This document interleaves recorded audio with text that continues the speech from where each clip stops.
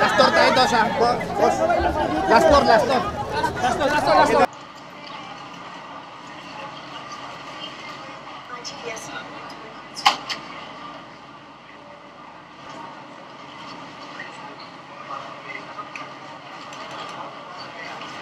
Thank you. Dos ha. Bo- Boss. Last four, last four.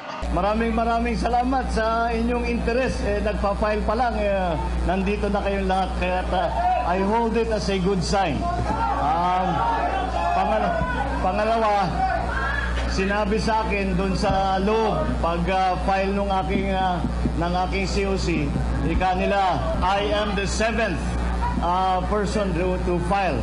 So, nandyan pa rin yung aming, ah, ang lucky number ng 7 para sa aming mga Marcos. So, I think that is a uh, that is a good omen. So, but anyway, thank you all very much for being here.